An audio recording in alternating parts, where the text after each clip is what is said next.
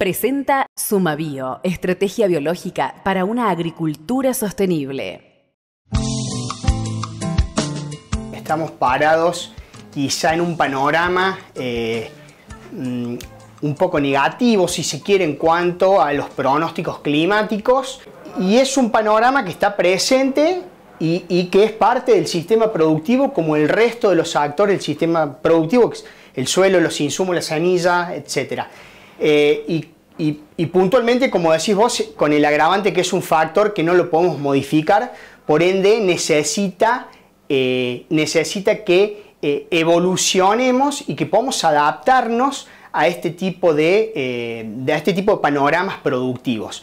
Desde Suma Bio con la tecnología que formulamos, que son consorcios de microorganismos de aplicación ya sea para tratamientos de semilla o para eh, tratamientos foliares, depende sea el, formato comercial, eh, apuntamos eh, a, a productos que se complementan a la producción, a las tecnologías existentes y que tienen la capacidad intrínseca de mitigar un poco esta situación estresante para los cultivos, para las plantas, a través de diferentes estrategias.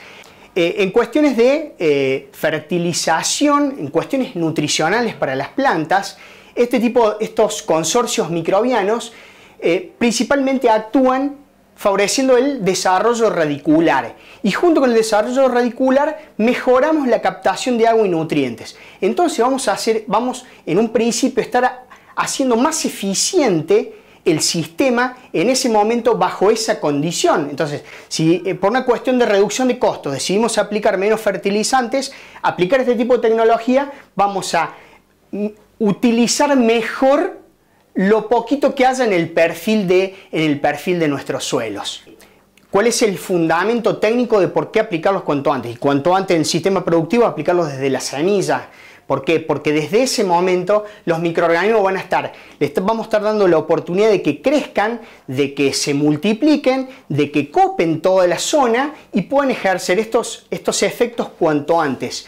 Un, segundo factor muy importante, además de este sistema más eficiente en la nutrición, también está toda la parte o toda la gama de bioestimulación, que es que estos microorganismos secretan eh, o liberan al medio distintos metabolitos o compuestos bioactivos, como por ejemplo hormonas, eh, sustancias que son antioxidantes u otras que tienen la capacidad directa de competir contra, em, contra estos eventos de estrés que pueden ser salino, sequía principalmente hídrico y salino. El objetivo puntual de SumaBio es lograr el máximo potencial de rendimiento en esta condición puntual que, es, que, digamos, que el ambiente nos ofrece para, para tener nuestros cultivos.